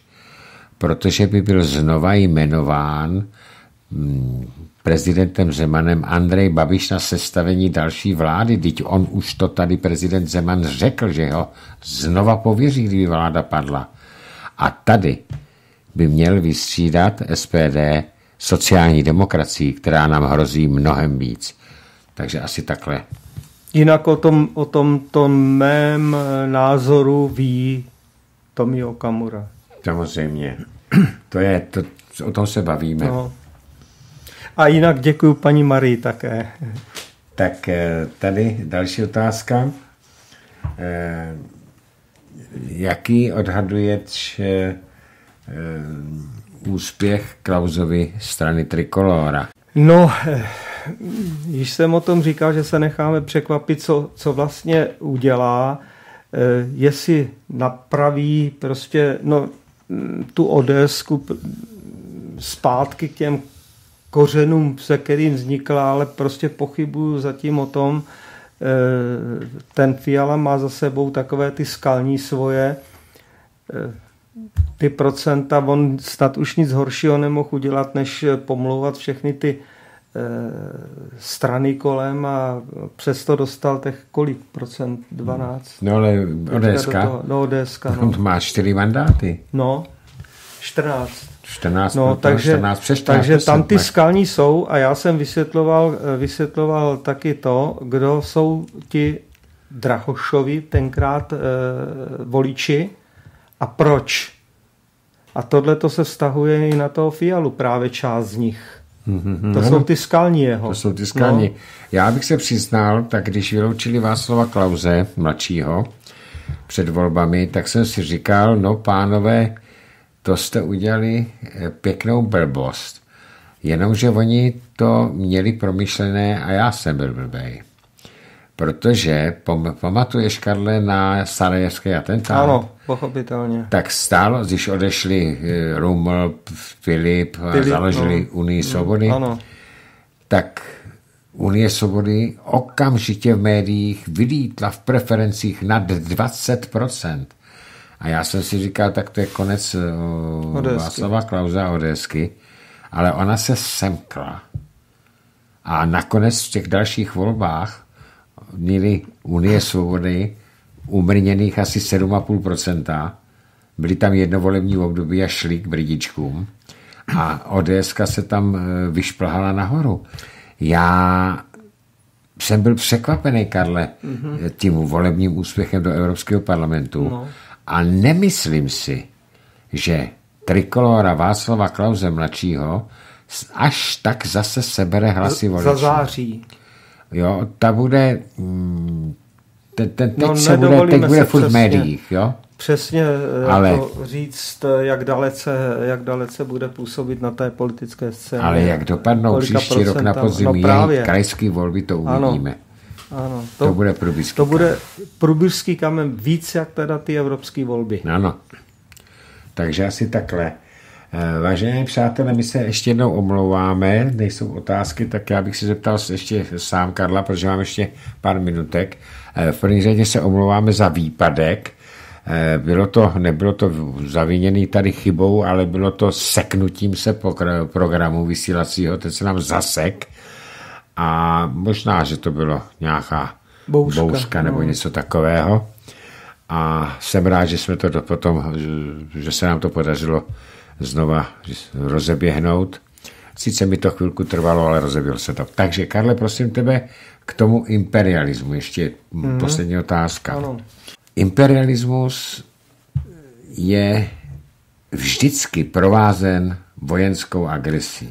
Tak, tím končí. Do, do, do té doby, než prostě do toho začnou vstupovat eh, ty eh, vojenské výrobní komplexy. podniky, komplexy, ano, tak dejme tomu, že to je monopolní kapitalismus, mm-hmm. pokud je to ta vnitřní struktura jenom v té zemi. Jakmile do toho začnou vstupovat ty vojenské eh, výrobní jednotky, tak pardon, tak to začne zavánět právě tím imperialismem expanzivním, který tady v podstatě 200 let ta Amerika produkuje. To jsou, a ty potřebují vydělávat, ty potřebují otáč, otáčet ty peníze stále. Ano. Tak dobrý večer, slyšel ano. se? Aha, dobrý večer, Marek. Dobrý večer ve spolek. E, chtěl jsem jenom poznamenat, že Otašek byl zcela jistě v Číně přijat se státními postami okolo roku 82. Hmm, tak ještě později. Slyšíte mě? Později, ano, slyšíme, ano. Já slyšíme vím dobře. o roce 70. té návštěvě několika stránkové pojednání s fotografiemi v německém Šternu nebo mm-hmm. Špíglu. Aha. Takže Slyšíte mě? Ano, slyšíme, ano. Na několik let nastartovali čínský zázrak. No, teď to říkám. V 69 bylo části státnice na Vysoké školy ekonomické. Součástí státnice byly zásady nové ekonomické soustavy řízení, která zohledňovala i principy řízení Bati. Ano. Takže ano. to o tom by bylo docela zajímavé někdy udělat uh, obšírnější pořad. Děkuju. Já vás špatně slyším. A my vás ale slyšíme dobře. Tak... Uh... Tak eh, dostali jsme ještě ty uh, upřesňující informaci. Já vím o 70. let, protože ho tam tady vyloučili, že jo?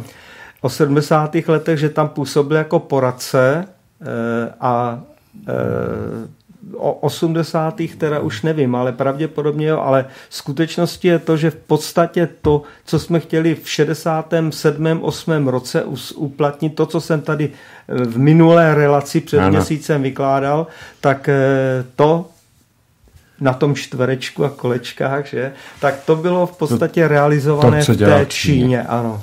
Tak oni tam napravovali nesmyslnou kulturní revoluci. No jistě, to, to byla, prostě to, to, je, to je druhá no. stránka věci. Já jsem hovořil o té ekonomické, že? Ale... A jinak jsem promoční ročník 69, eh, takže já jsem hmm. si zažil to, to ty nejkrásnější léta v tomto směru eh, na škole. Jasný. Vážení přátelé, já se s vámi loučím, děkuji Karli Jankovi, že se obtěžoval a přijel Vladimír, i já tebe děkuji za pozvání. Já vždycky tě rád vidím a e, doufám, že nás omluvíte za ten výpadek, ale opravdu dělal jsem, co jsem mohl, aby se to obnovilo, takže se s vámi loučíme a přejeme dobrý, dobrou noc a e, bezproblémové poslouchání dalších dnešních pořadů Svobodného rádia. Já vám přeji e, dobrou noc a po případě pěkný zbytek dnešního večera. Tak a my si pustíme písničku a já předám dalšímu studiu Svobodného rádia.